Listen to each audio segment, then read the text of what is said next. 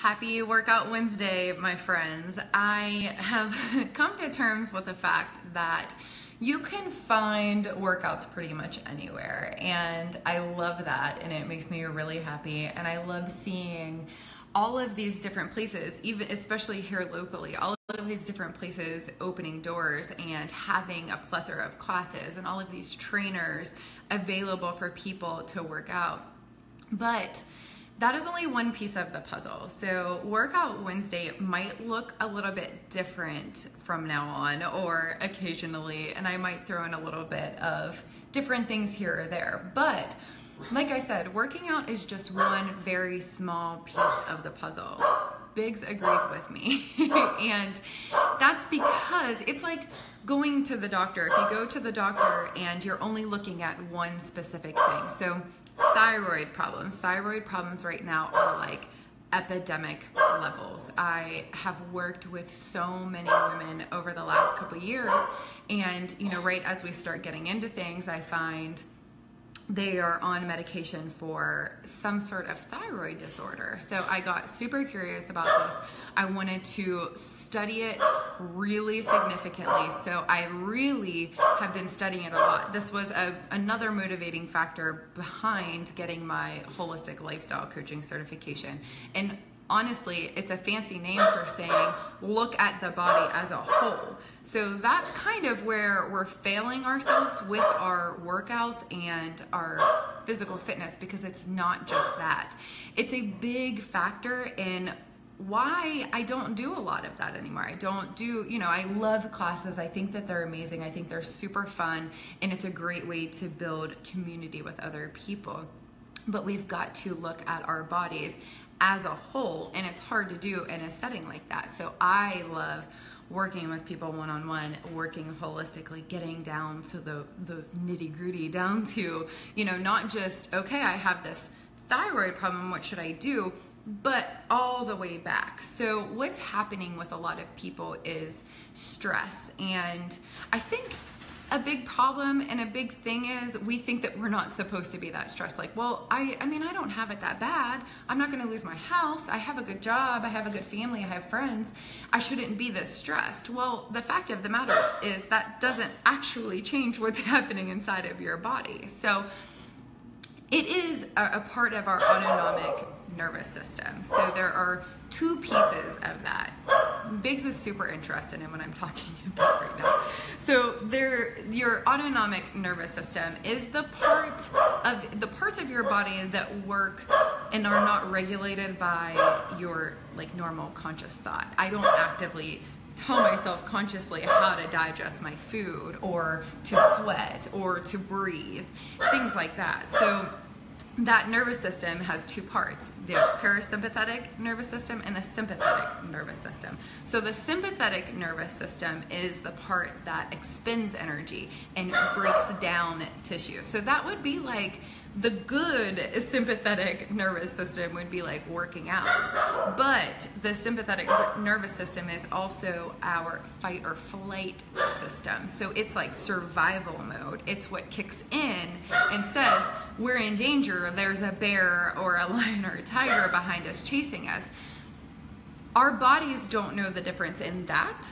Like, there is a bear behind me, and just the stress that we feel that's like, oh my gosh, how am I going to get enough work done with with so little childcare? The, these are the things that you know I stress about, or you know, how do I balance my work life and my home life and doing all the all the things with mom and all the things with my business. So that kind that level of stress, that anxiety is the same. My body doesn't know the difference in that and if a bear were chasing me. So we have a tendency to really get stuck in this sympathetic nervous system. Our parasympathetic system facilitates digestion and elimination and um, inflammation, immune function, the repair processes, the growth processes. So it has to be balanced with both.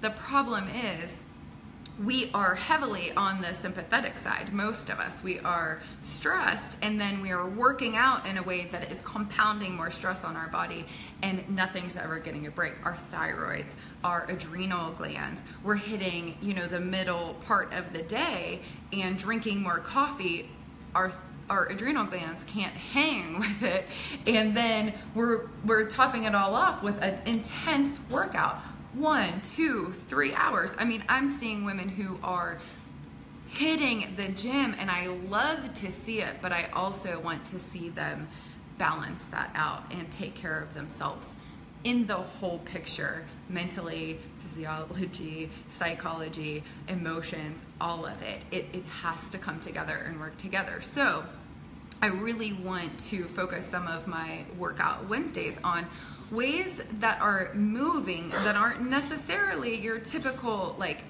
heavy hitting workout. I you know, I got to work out because it will also work.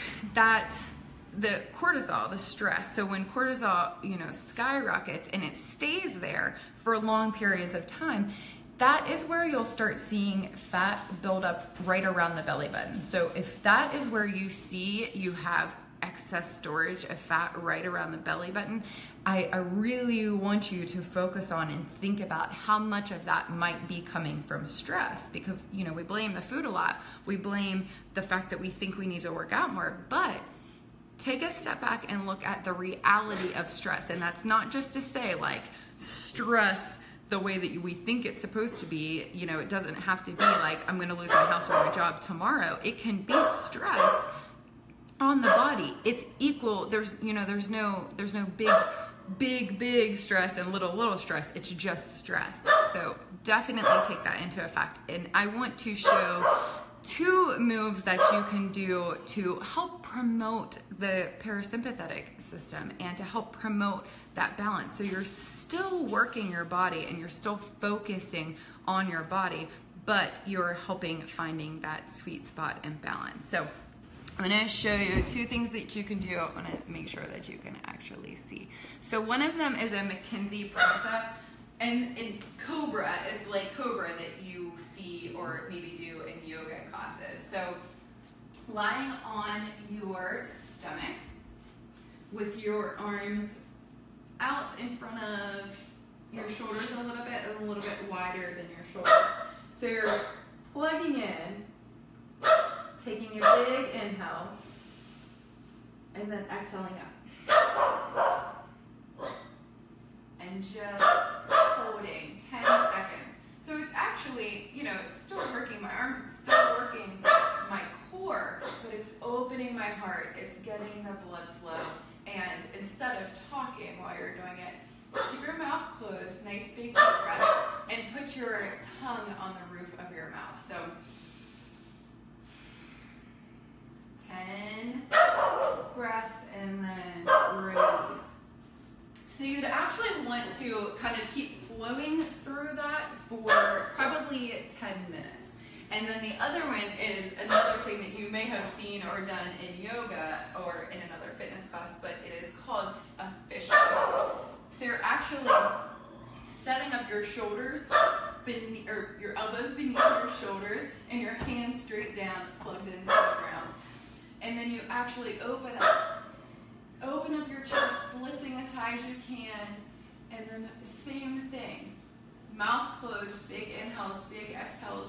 Inhaling in the nose, exhaling out the nose. Keeping your mouth closed with your tongue on the roof of your mouth.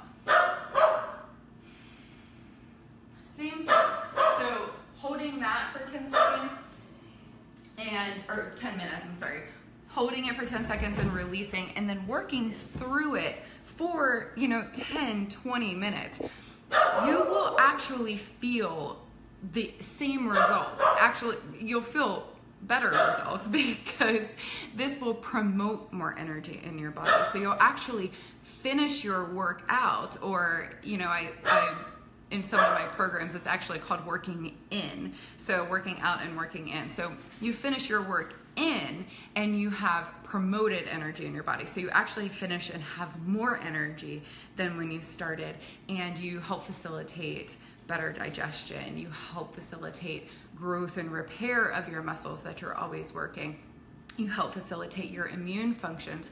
So these are things that we've really got to start thinking about, especially in the middle of something like a thyroid epidemic. And I, I'm, I kid you not, in the women that I talk to, so many of them are going through it. So you are not alone. And the major thing is, I'm definitely not saying don't don't take the medications and don't do this, but look at your body holistically. So that all that means is to look at your body, your life, your thoughts, your emotions, everything as a whole picture and go from there. So throw everything you've got at it. Look into the things that you could be adding in to your diet to help promote uh, healthier immune functions or healthier thyroid. Look into the the moves that you could be doing to help promote a healthier or more balanced thyroid or whatever it is that you may have or be going through.